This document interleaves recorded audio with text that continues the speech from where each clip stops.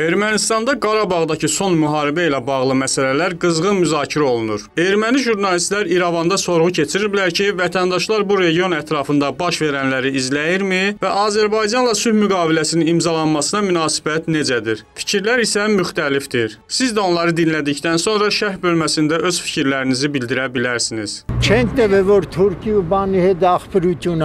Biz hakimiyyətə mandat verməmişik ki, Azərbaycanlılarla qardaş olsunlar. Bu mümkün deyil deyil. Bizim ağrılarımız başqadır və bu ağrı sağalmazdır. İnkişaf etmək və yaxşı yaşamaq üçün qonşularımızla sülh şəraitində yaşamaq lazımdır. Bu gün Azərbaycana qarşı döyüşə bilərikmi? Əlbəttə yox. O qədər gənc oğlanlarımızı ət çəkən maşına göndərdilər. Onların hamısına yazığım gəlir. Valideynlər oğullarını nə qədər çətinliklə böyüdüblər və onlar amansızlıqla ölümə göndəriliblər. Mənim də oğlum var.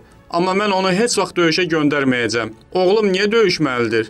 Müharibəyə gedənlər nəyə nail oldular? Heç nəyə.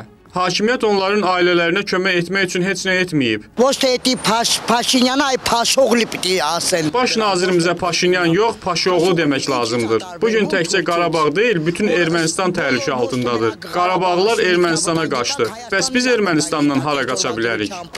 Հա Ղարաբաղցին էլի կարաթիլա փախնի գա Հայաստան, բա Հայաստանցին ուր պիտի փախնի։ Ուր պիտի փախնի։ Որտեւ եթե մենք այլ ճանապարհով գնանք, մենք Ղարաբաղը հանձնելու ենք Փարուխի դեպքերը ձեզ օրինակ։ Dediyim Qarabağı təslim etmək deyil. Çünki başqa yolla getsək Qarabağı təslim edəcəyik. Fərrux ətrafında baş verənlər sizə örnəkdir. Hissə isə təslim olacaq. Bir-birinizi aldatmağı dayandırın. 30 illik danışıqlar tarixi ərzində beynəlxalq ictimaiyyət Azərbaycanın ərazi bütövlüyünü birmənalı şəkildə tanıyıb və tanımaqda davam edir. Eyni şeyi Ermənistandan da gözləyirlər. Azərbaycanla sülh müqaviləsi bağlamaq lazımdır. Xalqımız yaxşı yaşamalıdır. Müharibədə nə qədər gənc əskər hələk oldu? Yetər artıq. Kanalımıza abunə olaraq bizə dəstək olun və hər gün ən yeni xəbərlərdən xəbərdar olun.